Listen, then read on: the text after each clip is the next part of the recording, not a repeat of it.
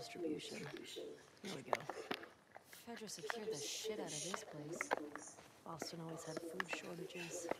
Hungry people get desperate.